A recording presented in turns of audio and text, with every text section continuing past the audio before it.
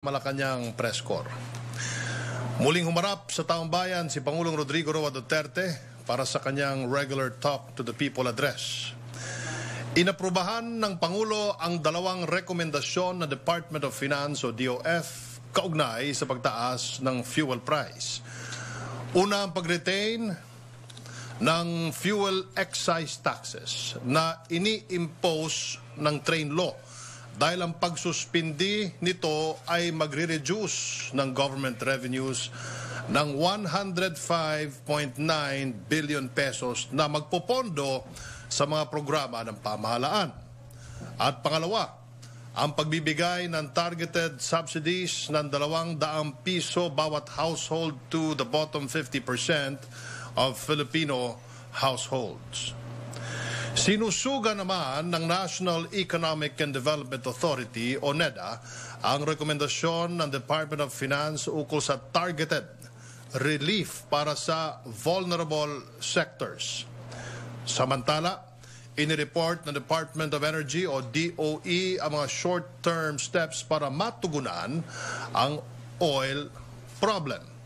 Kasama na rito ang limang bilyong pantawid pasada mahigit isang bilyong fuel discount sa mga magsasaka at mga mangingisda ng Department of Agriculture.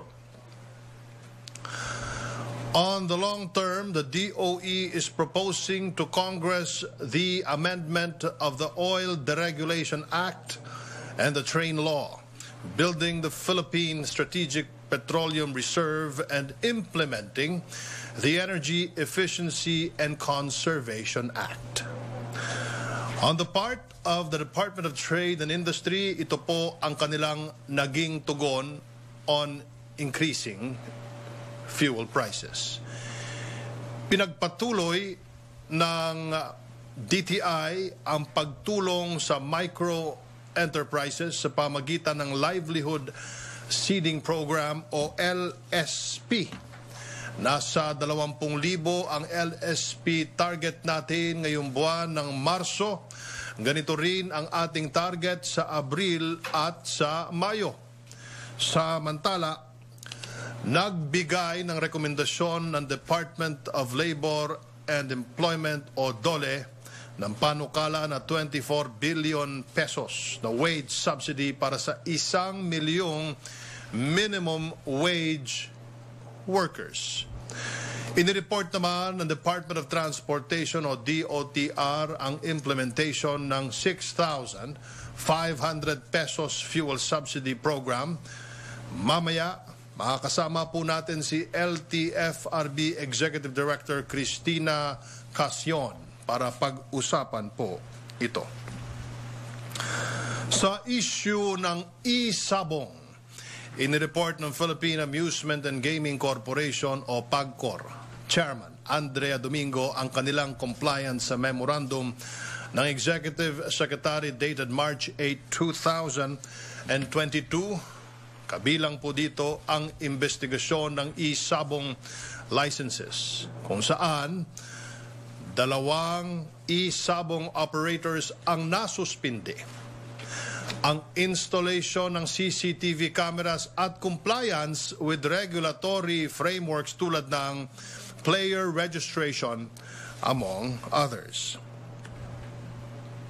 Sa balitang IATF, inaprubahan ng Interagency Task Force ang pagsasailalim sa Alert Level 1 ng Metro Manila at iba pang lugar sa Pilipinas epektibo ngayong araw, March 16, 2022, hanggang katapusan ng buwan, March 31, 2022.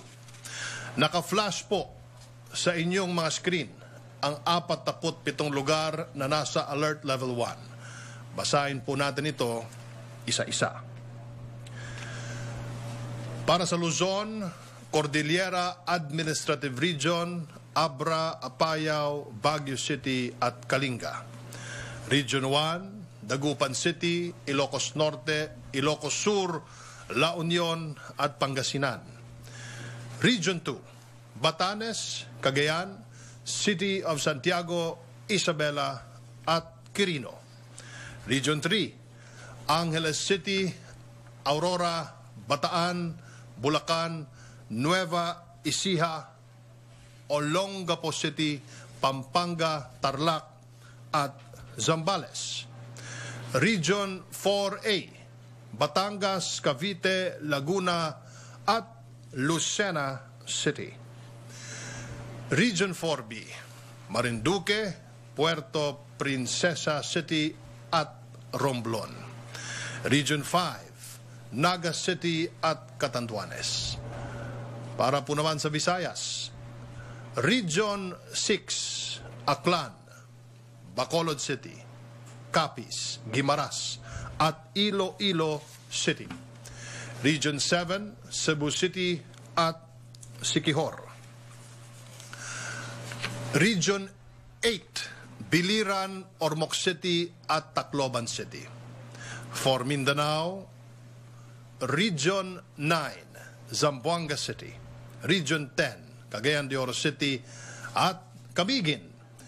Region 11, Davao City at Caraga Region, Butuan City. Samantala, ang mga lugar na hindi ko nabanggit ay nasa ilalim pa rin po ng Alert Level 2. Naka-flash sa inyong mga screen. Sa usaping bakuna naman, dumating po sa bansa nung lunes ng gabi, March 14, 2022, ang mayigit 868,000 doses ng Pfizer vaccine na binili ng pamahalaan sa pamagitan ng World Bank. Ito ay gagamitin sa mga edad 12 anyos pataas. As of March 15, 2022, nasa mahigit 70 million na ang naka-first dose habang nasa halos 65 million na ang nakakompleto ng dose o fully vaccinated ayon sa National COVID-19 Vaccination Dashboard. Habang nasa mahigit 11 million ang naka-booster shots, overall, nasa mahigit 139 million na ang total doses administered. Wala talagang napag-iiwanan sa pagbabakuna. Kahit mga inmates ng Bureau of Corrections ay kasama sa mabibigyan ng COVID-19 vaccine. Nasa 27,633 na inmates na ang fully vaccinated. Habang nasa 1,000 ang mabibigyan ng second dose ng AstraZeneca vaccine ngayong Sabado, March 19. Kaya inuulit po namin, ligtas, epektibo at libre ang bakuna tara na at magpabakuna at magpa-booster. Ang pagkuha ng booster ay parang pag-recharge ng baterya ng inyong cellphone. Nauubos ang baterya ng cellphone kapag naka-on. Pero hindi ibig sabihin ay hindi na ito magagamit. Kailangan lang mag-recharge. Ganyan din po ang COVID-19 vaccine. Humihina ang immunity paglipas ng ilang buwan, kaya kailangan ng additional shot or booster. On other matters, good news po sa ating mga kababayan na may disabilities nilagdaan ng Pangulo noong Biyernes, March 11, 2022 ang Republic Act 11650. Isa na namang Duterte legacy ito. Sa unang pagkakataon, binigyang prioridad ang learners with disabilities.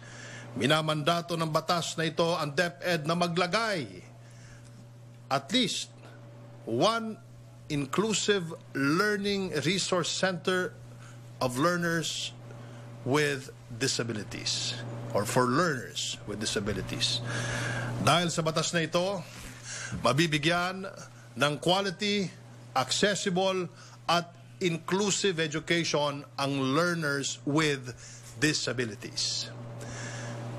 Samantala, binabati namin ang mga otoridad sa kanilang matagumpay na operasyon kung saan na-intercept kahapon ang tinatayang 10 bilyong pisong halaga ng shabu sa Quezon Province na binanggit din ni Secretary Eduardo Anyo sa Talk to the People.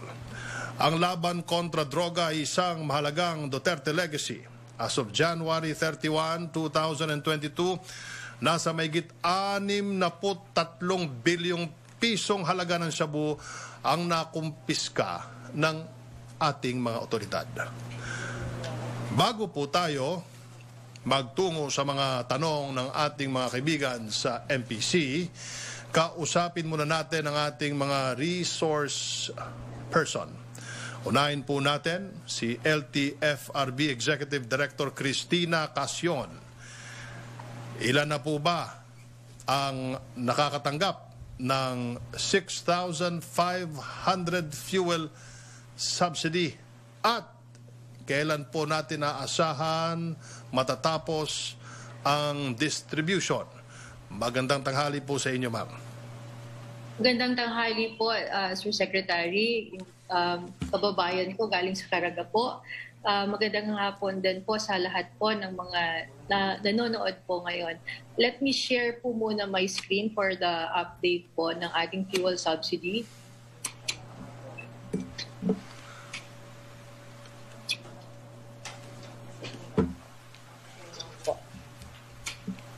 Ayan po. For our fuel subsidy program po, meron po tayong approved budget po under the GAA na 2022 na 2.5 billion. Ang atin pong beneficiaries po nito ay uh, yung mga public utility buses, public utility jeepneys, UV Express, taxi, shuttle service, tourist transport, yung mga TNBS din po, tricycles and delivery service because expanded na po ang coverage natin for GAA 2022. So ganito po yung allocation po natin based po ito sa tinatawag natin na hierarchy of modes of public transport ridership and fuel consumption. So sa LTFRB po na modes ay 1.75 billion po ang allocation po natin and under po ng DALG, ito po yung mga tricycles natin ay 625 million po yung ating allocation and for the under DTI naman po, yung delivery services ay 125 million po. So, um, sandali lang po. Medyo may technical. Ayan po.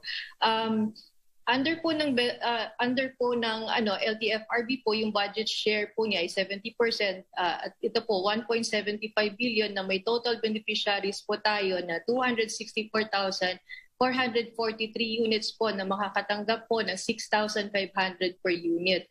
At ito po yung naging distribution schedule natin ng mga units under the LTFRB po.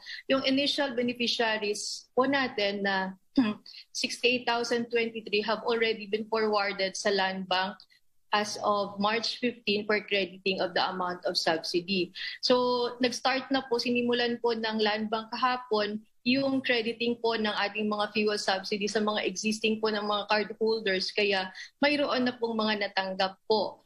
Uh, simula kahapon, yung ating mga, nauna po yung mga PUJ po, no, na meron na pong mga cards under the PPP po at inaasahan po natin na magtuloy-tuloy ang daily crediting ng mga ito sa mga may existing na cards hanggang Friday po this week.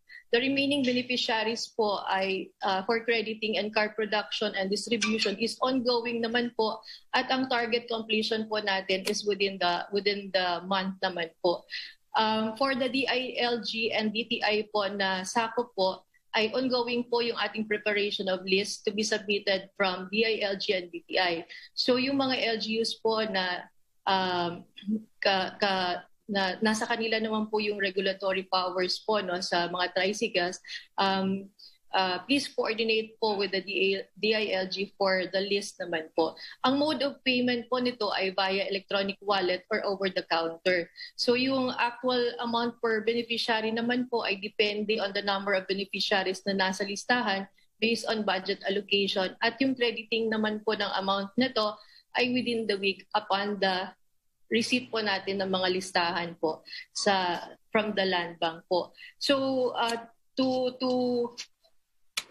uh, to repeat lang po ano, yung ating uh, yung mga unang nakatanggap na po ay yung mga PUJ Pero yung mga bus operators naman po natin, today din po yung start ng crediting ng mga accounts nila. And for the other modes po na kailangan ng card printing, we expect the cards to be ready for distribution naman next week. Uh, yung mga taxis, TNBS, UB Express na wala pang card, based po sa database ng LTFRB, kailangan nating i-check din po yung mga legitimate natin ng mga CPC holders. May database naman po tayo niyan at gagawan sila ng account naman po sa land bank para may issue na yung kanilang mga cards. So once na ready na po yung mga cards ay magpo-post ang LTFRB sa website at sa ating Facebook page at abisuhan natin yung mga beneficiaries natin na pwede na nilang i-claim po. Dahil po ay may processing time po yung land bank for card printing, we expect po na the cards will be ready starting next week po.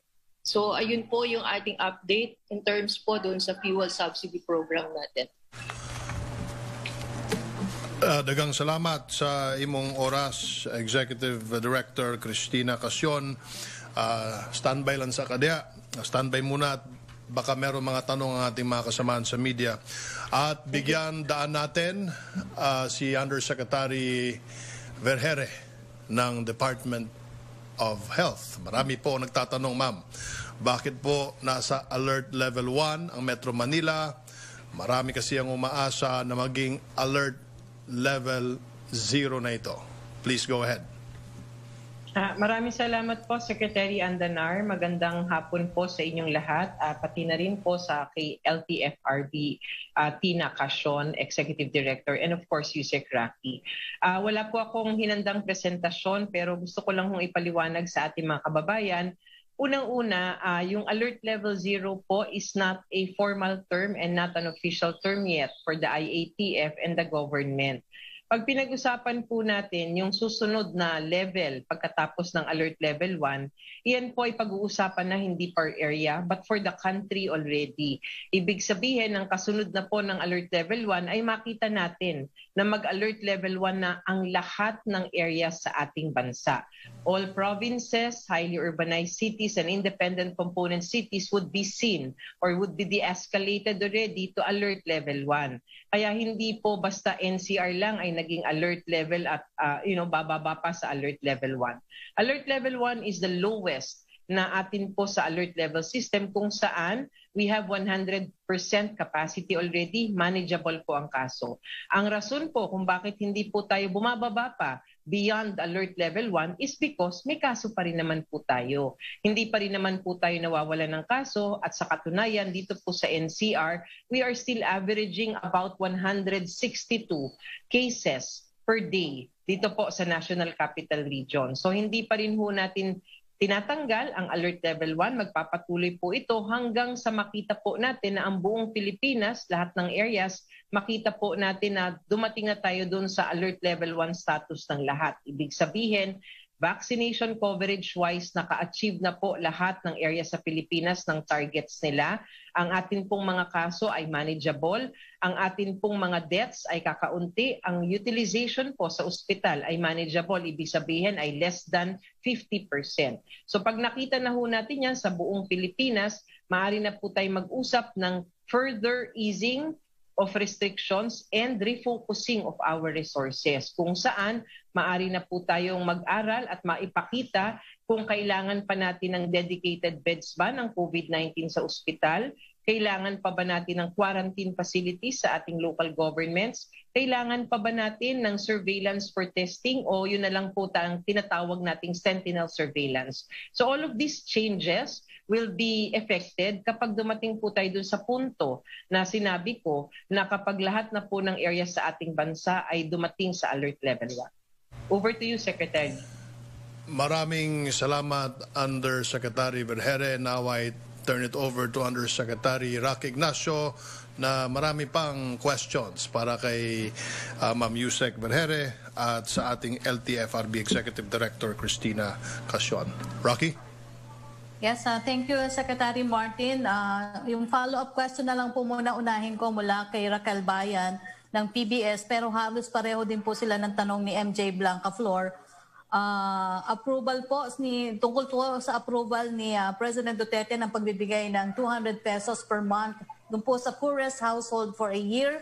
Do we have a uh, timeline or target date na po? And as to when we will start distributing uh, this particular targeted uh, subsidy. Same question, no? similar question with MJ Blanca Flor ng Daily Tribune uh, to clarify daw po, did the President approve the DOF recommendation to return the excise tax on oil and uh, to use revenues to provide ayuda of 200 pesos per month per family annually to the bottom uh, 50% of Filipinos household? If yes, kailan ito iaasahang uh, mabibigay at sino-sino po ang mabibigyan nito?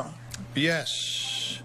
Ito po ay uh, inaprubahan ni Presidente kagabi at babasahin ko po ang transcript sa Talk to the People. Sabi po ni Secretary Dominguez, and this is sustainable, this is something that we can sustain, and this is something we can afford as of this time. So I hope that, Mr. President, you will support this recommendation. And the President answers, okay. Secretary Dominguez replies, thank you.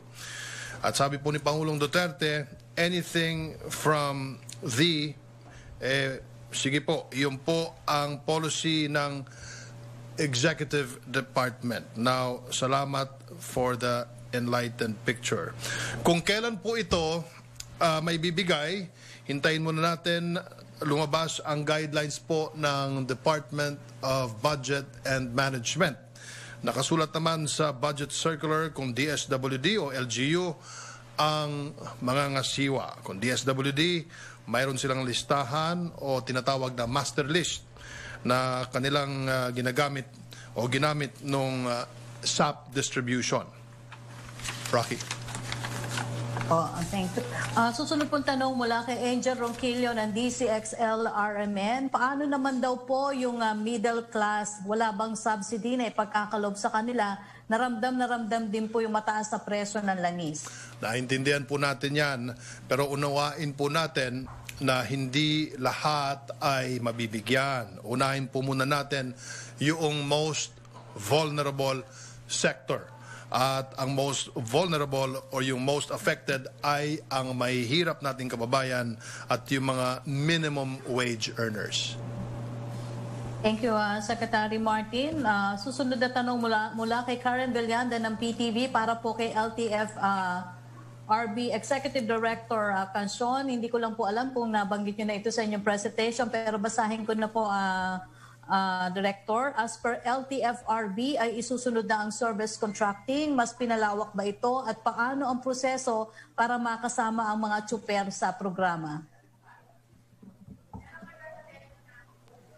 Yes po, no. Um, isus yes, isusunod na po natin yung ating service contracting program po. Kasi these are part of na sinasabi natin na basket of solutions po. Uh, as a cushioning po natin dun sa mga uh, uh, to cushion the effect of the fuel prices po no sa ating mga uh, stakeholders, particular na ating mga operators and mga drivers. Um, expanded na din po yung ating uh, coverage po nito kasi nung nakaraang implementation po natin sa phase 2 ay hindi po nakapag-onboard lahat po ng mga PUJ at uh, yung ibang mga UV Express po no, because of the limited funding. 3 billion lang po yung ating pondo noong 2021 pero ngayon po na 7 billion na po yung ating pondo ay we ensured po no ma- na isasama natin yung ating mga PUJ at at yung iba pang mga ah, yung UV Express po at iba pang mga modes po. Opo.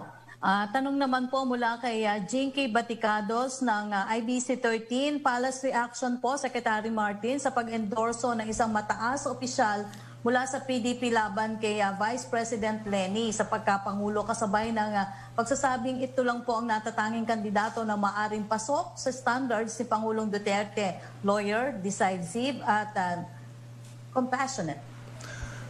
Thank you, Jinky. Pero disclaimer lang na ako po ay hindi official member ng PDP Laban, kaya ah, hindi ako ang pinaka-credible na sumagot dyan. Pero be that as it may, I understand that uh, that is the personal choice of uh, my good friend, uh, Eastern Samar Governor Ben Evardone. At hindi po natin tiyak kung yan po ang official stand ng PDP Laban and the officers of the PDP Laban, um, specifically uh, Secretary Alcusi will be in the best position to answer that. Now, for the President's part, PRRD remains to support no one in the presidential race unless there is a compelling reason. Here, Secretary Martin. Ah, unahin ko na lang yung follow-up question, Sec Martin, ni ah, Pia Gutierrez ng ABS-CBN. Inaprubahan din ba ng Pangulo ang panukalang four-day work week ng NEDA? Nakikita ba na Malacanang na doable ito? Hindi ba ito taliwa sa sinabi ng ilang opisyal na mas mabuting bumalik na sa trabaho ang mga empleyado dahil makakatulong sa pagbangon ng ekonomiya at sa muling pagsigla ng mga negosyo? Iyan po ay under consideration ng ating Pangulo. Ah, meron pong ilang panukala ang NEDA at kasama na nga po dyan na nabanggit ninyo na four-day work week at meron din po yung extension ng work from home at ito po mga panukalang ito ay uh, in case na tumaas pa ng husto ang presyo ng langis sa pandaigdigang merkado. Mula po kay Jinky Baticados ng IBC 13 para po kay Yusek Berhere. Yusek Berhere, nagtatanong daw po ang ilan nating kababayan na pauwi mula sa ibang bansa. Ito po yung ating mga balikbayan. Kung kinakailangan pa daw po na i-RT-PCR uh, test o antigen ang mga batang dala nila na 4 years old below. Also, kung makakapasok ba sa bansa ang nagpositibo sa COVID-19 pero tapos na po yung kanilang quarantine. They are on the road to recovery at nakuha nila yung lahat ng requirements gaya ng doctor certificate at fit to travel na dapat dalhin. Kaso po daw, positibo rin ang resulta ng kanilang RT-PCR test a day before the travel. Papayagan ba sila to enter and what should they do? Uh, yes, Yusek Rocky, no? So, unang-una po, uh, para po dun sa mga bata na pauwi dito sa atin, uh, it depends on each country uh, kung pinapayagang i-test ang bata uh, kapag magpe-pre-departure sila. Like for example, sa Hong Kong, hindi po nila talaga sinaswab ang mga kabataan 3 years old and below. Uh, sa ibang bansa naman, 5 years old ang below, hindi po nila pinapayagang ma, ma RT-PCR ang mga bata o maswab no uh, for this kind of uh, purposes. Dito po sa Pilipinas, less than 5 years old, hindi rin po natin hinahanapan. Meron pong resolusyon ng IATF na sinasabi kung ano po ang vaccination status ng kanilang mga magulang pagpasok nila dito sa ating bansa, yun din po ang susundin. So kung fully vaccinated ang mga magulang, hindi na kailangan mag-quarantine. Yung test na lang ng mga magulang ang kanilang gagamitin. As to the second question naman po, Opo, papapasukin po kayo ng bansa basta dala niyo po yung required na documents katulad ng medical certificate na sinasabi na kayo po ay nakatapos ng inyong isolation period at saka kayo po ay wala ng simptomas. At yung date po at saka yung test nyo nung una kayo naging positibo. Pag nagkaroon kayo ng positive pa rin na 48 hours no pre-departure, kailangan po ito po ay masuri maigi no pagdating dito. Kasi maari po that within the last 30 days kayo ay nagkasakit. Pagdating nyo dito positive pa rin ng 48 hours pre-departure. May doktor po tayo no naka, na nakatalaga diyan from BOQ to assess your status if indeed talagang remnant lang yan ng virus o kailangan nyo po talagang mag-isolate pa further. But definitely papapasukin po kayo kung dala nyo po ang kabuuan ng mga dokumentong nire-require po sa inyo. Thank you, Yusek Berhere.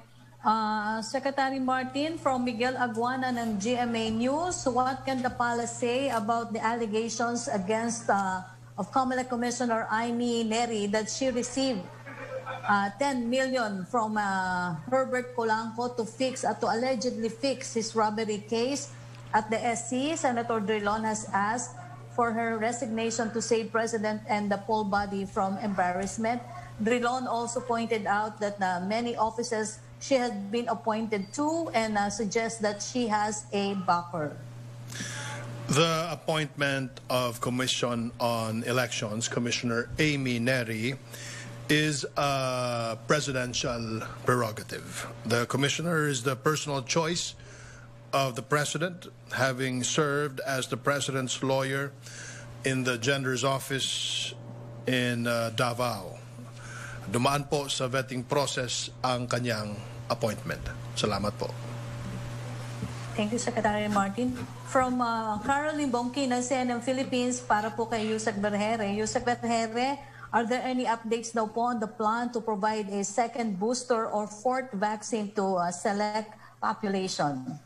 Ah, yes, no. So alam naman po natin nakapaglabas po ang vaccine expert panel ng mga rekomendasyon ukol sa fourth doses o yung tinatawag na second booster para sa piling populasyon dito sa ating bansa katulad po ng immunocompromised individuals at saka mga senior citizens. Ito po ngayon ay pinag-aaralan ng ating all experts group.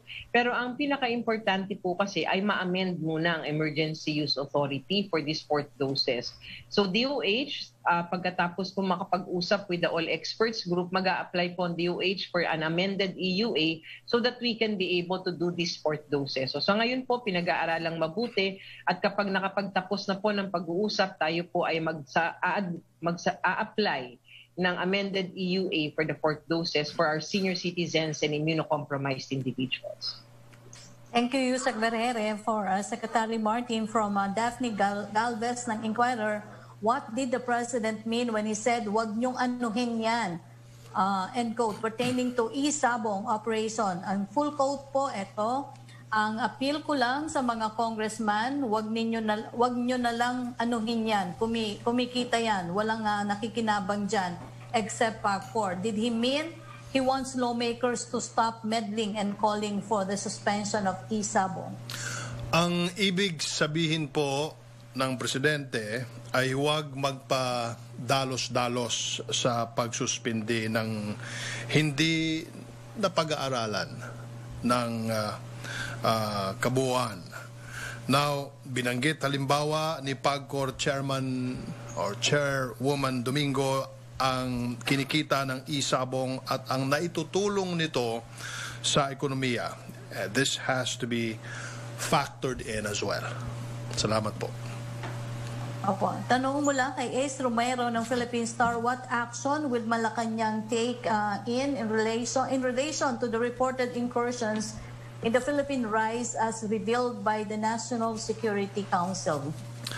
Pagdating po naman sa uh, Philippine rise, the Department of Foreign Affairs will take the necessary course of action, which is to file a diplomatic protest. Thank you. Opo. May pahabol lang pong tanong mula kay uh, uh, kay Rose Nobinario ng Hataw. Sa isang panayam po, sinabi mo na may endorsong uh, presidential bet si Pangulong Duterte. Ikukonsidera ba ni President Duterte ang pagiging anti-Marcos activist ni Nanay Suling ang kanyang ina sa pagpili ng manok sa presidential elections? Thank you, Rose, for the question. Yung panayam kasi na yon ay uh, fast talk ng uh, isang payagan. Uh, politiko fast talk na kailangan mong sagutin. Ang sagot mo ay nasa A, E, I, O, U. Kailangan mong sagutin. So, hindi naman yon ang sagot talaga ng Pangulo, kundi yun ay saganang akin lamang doon sa larong fast talk. Kaya lumabas doon yung letter O at uh, letter U. Opo. May pahabol din pong tanong si AC Nichols ng CNN Philippines at saka si uh, Sam Danila ng Business Mirror.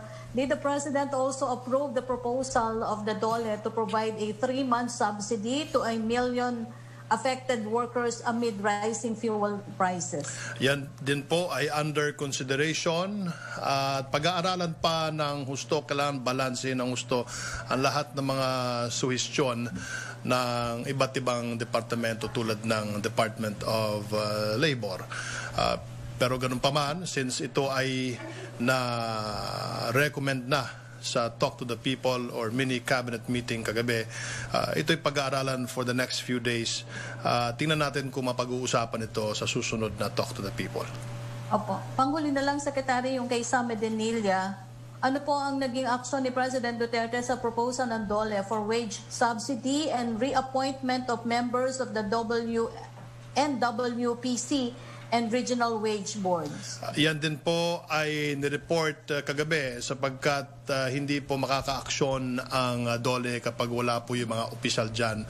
Uh, at uh, yan naman ay naka naka ah, direct kay ah, Executive Secretary Bingbong Metaldea. So titingnan natin kung ano magiging aksyon ng ah, Office of the Executive Secretary. Okay, thank you Secretary Martin, uh, Yusek and Director Casion. Salamat MPC. Maraming salamat uh, Undersecretary Rocky Ignacio at congratulations ha. One year na. Ah, two years. Two years na. Two years. Anniversary ah, sa laging handa at kausap po kanina yung mga kasama natin sa kapisanan ng mga broadcaster ng Pilipinas. Ah, sila Boss Herman, sila Boss Bob. Congratulations po sa ating lahat. Maraming salamat po, Yusek Rocky Ignacio. Buhay ka. LTFRB Executive Director Christina Casion, ma'am. Mayong hapon kanimo. Dagang salamat sa imong oras. Si Undersecretary Vergere ng DOH at members ng Malacanang Press Corps. Dito po nagkatapos ang ating press briefing. See you again on our next briefing. Stay safe and healthy everyone. Tandaan, basta't laging handa at sama-sama, kaya natin ito. Kaya natin ang anumang pagsubok.